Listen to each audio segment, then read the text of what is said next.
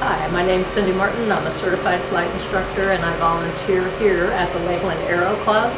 This is our Redbird FMX simulator that we use to train the young adults. They can count hours toward their private license, their instrument license, and their commercial license as long as they are with a CFI who can sign their logbooks. We're going to show you how we get it, get it running and how we use it for some training.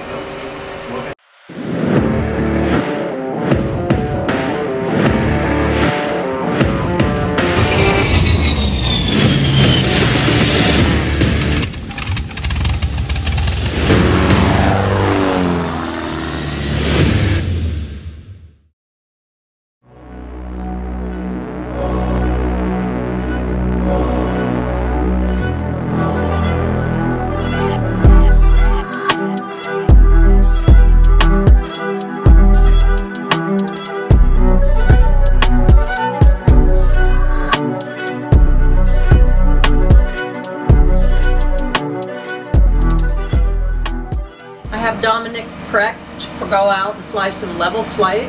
Um, we're going to take off, climb for a while, and then we're going to level off and look at what all of the controls do. So we have prepped everything. We're ready for takeoff, and it's his first flight.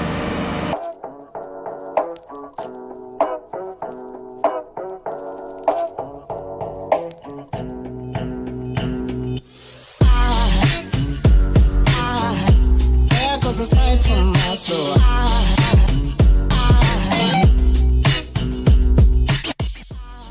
So you're to push right right right and you just kind of like a boat. You got to be ahead of it. More right rudder, more right rudder, and drop your heels to the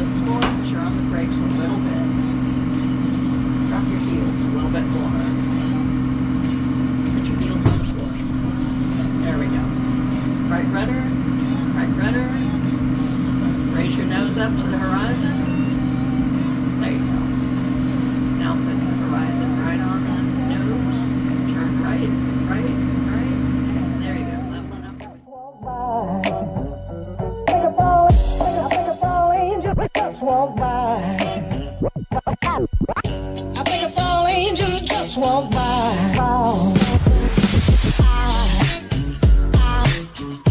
There goes a sight from my soul. There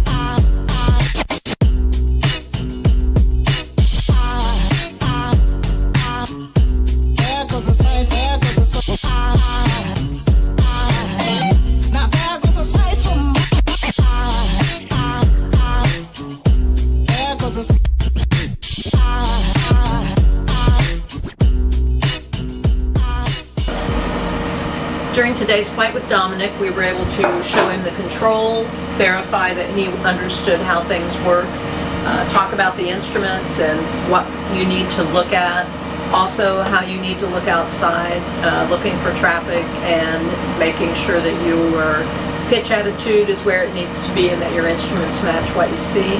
And on his first flight, he was able to actually fly a pattern. It wasn't perfect, but it was it was really good and he was able to land the airplane and stop on the runway. So hopefully he'll be back next week and this is a great tool to get him ready to go to the